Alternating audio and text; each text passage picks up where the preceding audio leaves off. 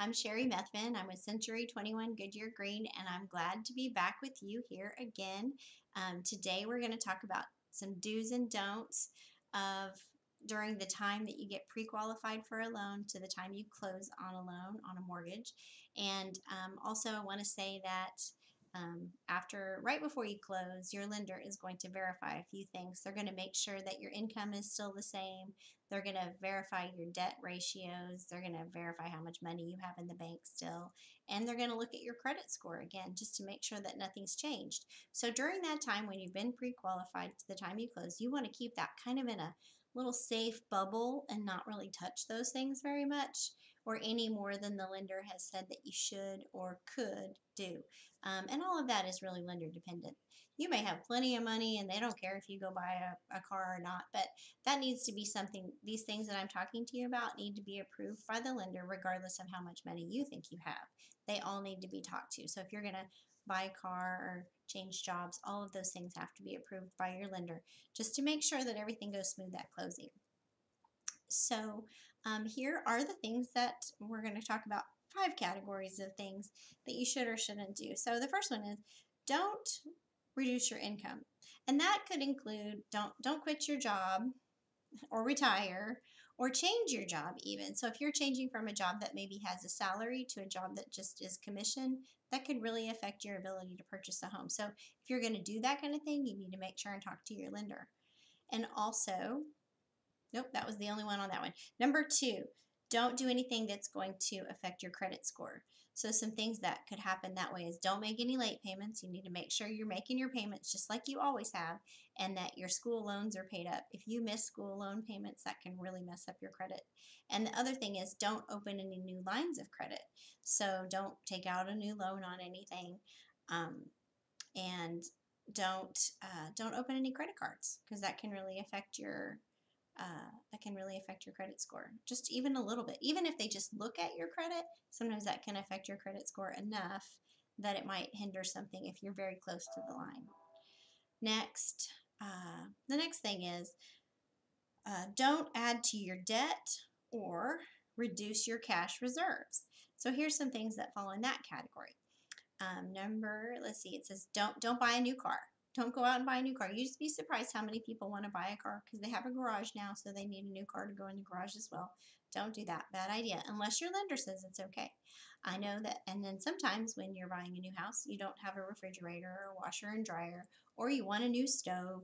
Um, it's just some things that you want. Um, don't go buy appliances because those are big expenditures that may not be expected and um, you need to make sure and do those things after you close unless the lender says it's okay. Another thing is uh, don't pay off your credit cards. That sounds really goofy, but it can also affect things with your lender. So it can affect your cash reserves. It can affect your debt to equity ratio, just unless it may be required. It may be something that's required by the lender to close. So that's something you'll want to consider um, talking to them about.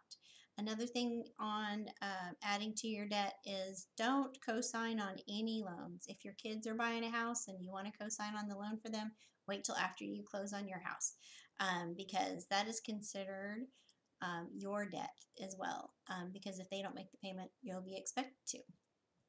And uh, let's see, don't spend your cash. Um, if you think, well, I'm going to spend it now, I'll get it back on that next paycheck. If they check your account when you're not, when you don't have the money in there, it may be difficult. It may make things difficult for you on getting your mortgage. And it may cause some things to slow down, and you don't really want that. So next thing is don't add to your money. That sounds really goofy, doesn't it? but you know, everything they're watching what you're doing in your financial situation, the lender is. So you don't want to accept a gift or uh, closing costs or borrow any money from anyone um, or from a retirement account without your lender knowing that that's happening and that they've been prepared for that. Um, you can have a gift from your parents, for example, for closing costs, but you can't have a loan from anybody for your closing costs.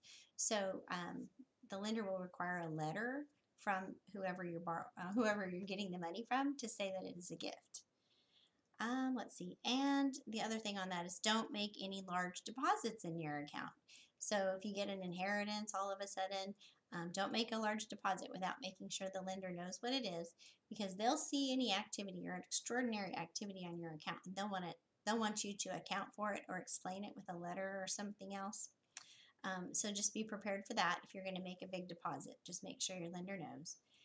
And then the last thing out of the five things is don't do anything else that would be extraordinary to your account. So don't go change your bank accounts. Just keep everything with your money in that safe little bubble like we talked about.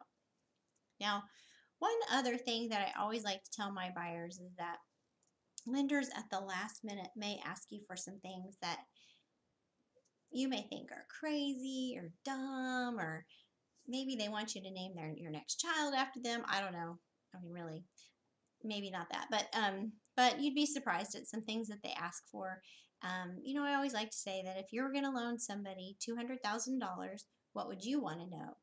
Pretty much a lot of stuff. Maybe some stuff that wasn't you that they person you were borrow, lending the money to didn't think you needed to know. But um, I always say complaining about it's never going to work put a smile on your face and give them what they want and then they're going to hand you some money so that you can get a keys to your new house so just know that that's going to happen it could be that day before closing that they're asking you so just try to be flexible and answer their questions and give it to them and say thank you very much um, so that's my advice to you on purchasing a home um, so just don't don't reduce your income don't do anything that's going to affect your credit score don't uh, add to your debt or reduce your cash reserves don't add to your money and don't do anything extraordinary with your money whatsoever. And I hope that helps. And I think it will help you with your closing process if you don't do those things. If you follow those simple rules, just keep your money in a bubble. And my name and number are below. And I'm happy to answer any questions that you have. You can leave a message on my Facebook page or my YouTube video. And um, I hope to hear from you soon. Talk to you later.